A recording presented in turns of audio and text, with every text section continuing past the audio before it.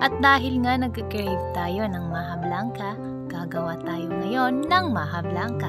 At ang una lang natin gagawin ay maglagay lang tayo ng pure gata sa isang kawali. Lagyan natin ng isang condensed milk at white sugar. 1 cup of white sugar yung ginamit ko at isang lata ng condensed milk. Pagkatapos nga nating ilagay lahat, kailangan lang natin tong halu-haluin. At mas masarap din to kapag nilagyan natin ng corn kernel. Pero di nga ako nakabili kaya di ko na lang siya nilagyan.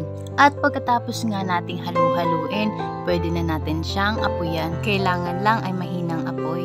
At habang naghihintay tayong kumulo yung mixture natin, ay maglagay muna tayo ng tubig dito sa ating cornstarch. Dahan-dahan lang yung paglagay hanggang matunaw lahat ng cornstarch.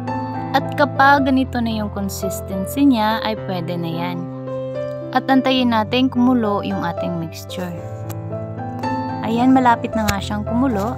At kapag nga kumulo na siya, ay pwede na nating ilagay yung ating tinunaw na cornstarch.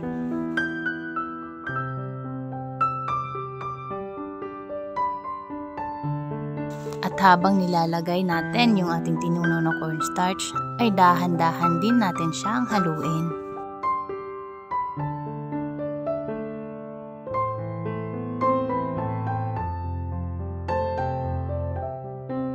At ayan nga kapag medyo ganyan na siya, ay pwede na nating patayin yung ating apoy at patuloy lang ang paghalo. At pwede na natin siyang ilagay sa ating lagayan.